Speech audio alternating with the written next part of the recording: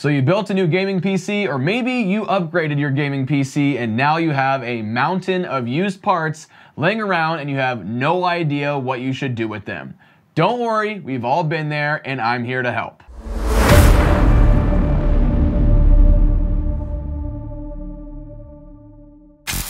What's up everybody? Welcome to the RA Visuals YouTube channel where you'll always find high quality visuals and high quality tech. And today I'm going to share with you my top tips for selling your used gaming PC parts online so you can get some of that hard earned money back and possibly store away a little bit of cash for that future upgrade or so maybe you can take your girlfriend out for a nice seafood dinner.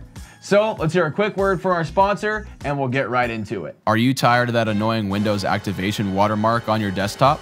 VIP URCD Key has you covered with fully licensed codes to activate your favorite games and software. Purchasing your key is super easy.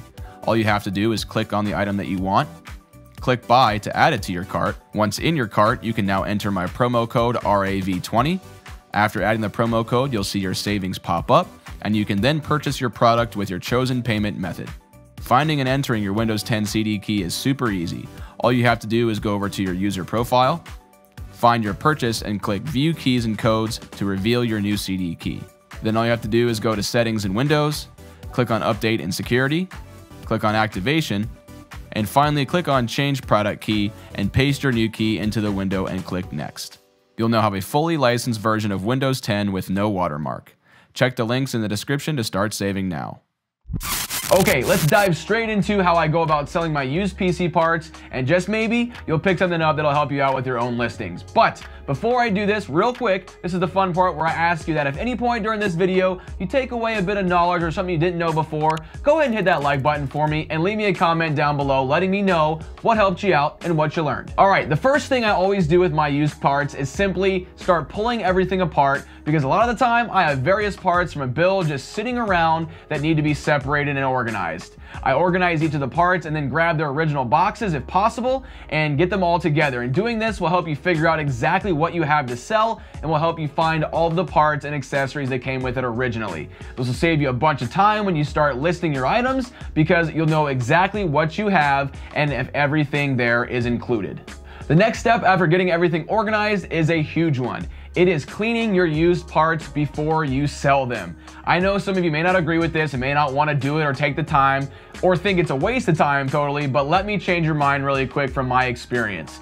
I can tell you that a potential buyer will first of all pick your listing over someone else's simply because it looks clean in the photos and newer, and they will also be less likely to haggle you on price because they think your item looks dirty or grungy or old or something like that. Think of it this way, the less time they have to do cleaning it when they get the item from you, the more likely they'll pay your asking price, if it's fair of course, and then we'll go ahead and dive into pricing and everything later on, so don't worry about that either. Cleaning parts can differ depending on what component you're selling, but some general ideas are to first and foremost, clean the dust off everything.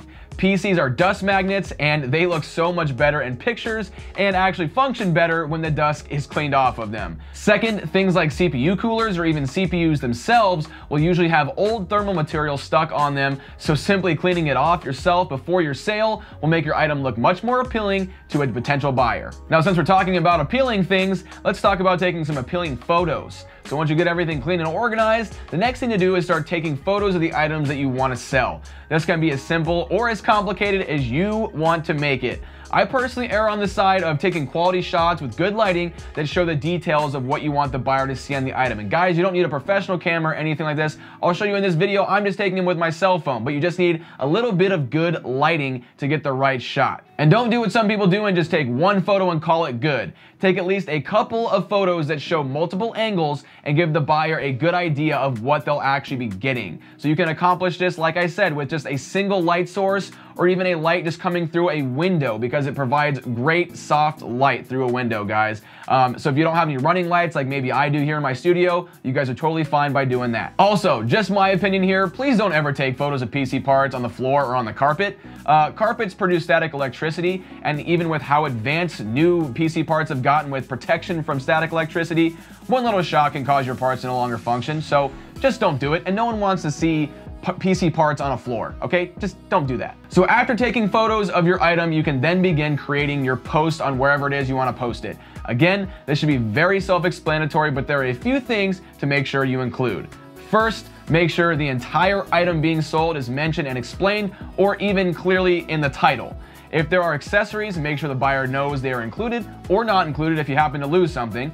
Also, if your parts have any small cosmetic issues or if certain things don't function 100%, be sure to list that in the post. That way you can save yourself from someone either backing out or coming back to you later on and saying something broke and they want their money back. Just don't even do that. And of course, be sure to add all of those awesome photos that you took of your item like we just talked about so the buyer gets a clear view of what they'll be getting from multiple angles. Now for the part that probably every one of you are coming to this video to ask me about. I get asked about this all the time. And if you watched this far and you like what you've heard so far, go ahead and hit that subscribe button for me so I can keep creating cool content like this for you guys. All right, how exactly do you put a price on your used parts that you want to sell? I get asked this all the time. Well, obviously this will vary depending on the item, its condition, original value, and what it's currently selling for on the used market. A key indicator of used PC part pricers is good old eBay. I personally always check eBay first and see what my item is listed for in used condition, if the item is used, that is. Then I check the marketplace that I'm planning on listing the item to and see if anybody else also has the same item listed. And from there, it's really up to you if you want to come in lower with your price and or go ahead and match everyone else that's selling a particular item for.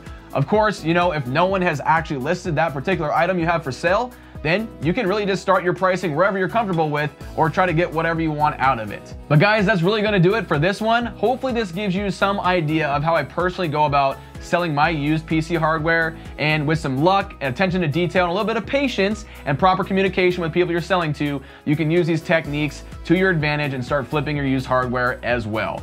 Anyway, that's gonna go ahead and do it for me in this one. You guys stay awesome and I'll be back with more tech content very soon.